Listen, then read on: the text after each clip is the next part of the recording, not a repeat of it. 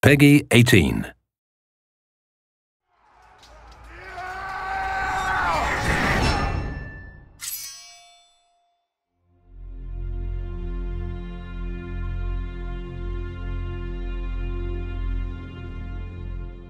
Today I have a surprise for you, as we said. And this surprise is a new IP in a new genre. And this game couldn't wait till the end of the show.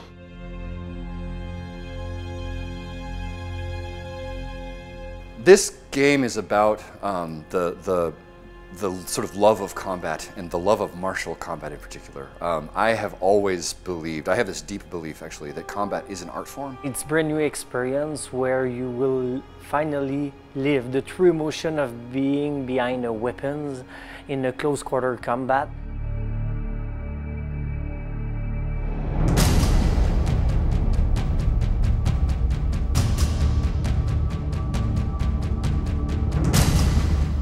You a knight? Are you a Viking? Are you a samurai? And let you discover what your inner warrior is like, because that's the whole purpose. Um, when, a, when, a, when a person picks up a weapon, right, they become a warrior, right? So we want to create that experience in a video game context. When I say knight, Viking, or samurai, I'm not asking you what your favorite is. I'm asking you what you value. People who answer samurai tend to value skill, mastery, honor, right? People who value Viking tend to value freedom and expression and enthusiasm and celebration, right? And people who choose knights tend to value culture and defense and sort of nobility and like the sort of codes, that sort of stuff, right? So it really is this statement about what do you believe in, right? Which is just incredibly powerful. So that's the basis of the whole thing. First, we had a team.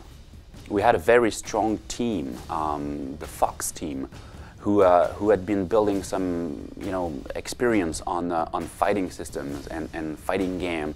And, uh, and, then, and then we got Jason VandenBerghe. Jason had this, this game within himself.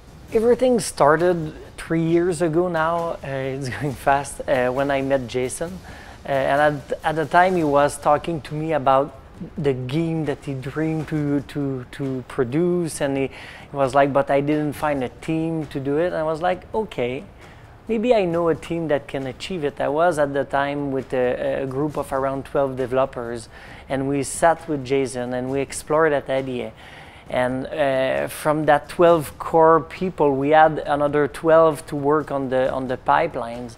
And you can see now with uh, three years later, we're more than 150 people continuing building over that foundations, but the foundation is pure. We have a lot of veterans who came back either to Ubisoft or in production to work on that game.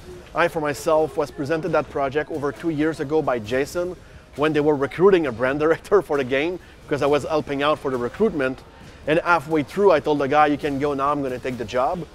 At the time, I was joking, but six months later, I was joining the team. So it's very diverse, but its passion unites us.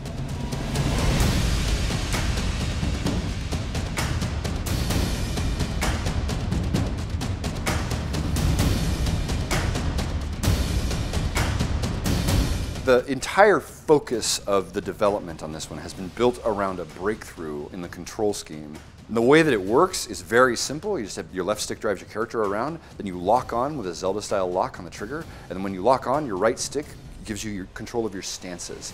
Right, left, and top stances, and that actually moves the position of your sword. We just want you to have the emotions of combat and feel like you are really holding that weapon and that you're really dueling against the other person. The most important thing to accomplish there is to get you looking at your enemy's stance and be thinking about what they're doing and trying to guess and anticipating what they're doing. These mechanics make that happen. What is really unique about For Honor is that core fighting experience. It's not a broader experience, it's not button mashing, it's not also a fighter experience where you have to memorize all the possible combos and moves of your opponent. It's something really in between. It's something that feels and play really close to the kind of emotion that you will have if you're actually fighting. There, there is no game like that. So it, it's not like we are doing another fighting game. It, it's like we are creating something from scratch that people don't expect But suddenly, as soon as, as they put their hands on the pad, they say, this is the game I always wanted to play, but I, I couldn't imagine it. I couldn't, I couldn't think of that game before. Ubisoft has finally cracked sword fighting. That's what I'd like to see. I'd like to see this is the sword fighting game we've always wanted.